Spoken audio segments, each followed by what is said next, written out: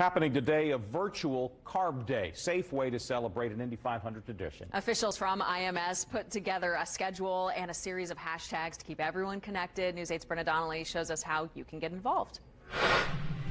The folks at IMS are still encouraging people to celebrate what it calls one of the most fun days in May, all while staying home during the pandemic.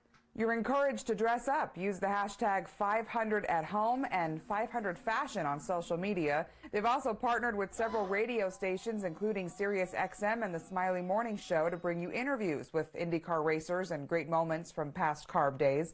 In fact, 1070 The Fan managed to bring out a former Carb Day performer to share some enthusiasm. Hey, the Red Rocker Sammy Hagar here. All you Indy 500 race fans. I just want to say, hope you enjoyed this virtual 500 this weekend from your homes and enjoy my buddies talking to you about the Carb Day. 2014, I played Carb Day. It was such a blast. Uh, the crowd was great and everything. I just can't wait for things to get back to normal and get the Indy 500 back on track. The return of the Indy 500.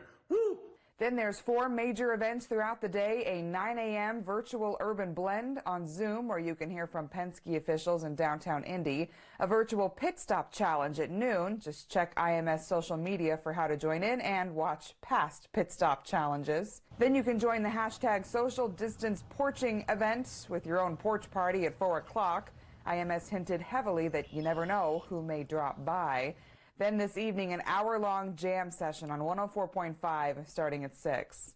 And just like with an in person carb day, it's all meant to get you in the spirit of racing. There's a virtual Legends Day tomorrow and a virtual Indy 500 on Sunday. I'm Brenna Donnelly, Wish TV, wishtv.com, and follow us on Facebook.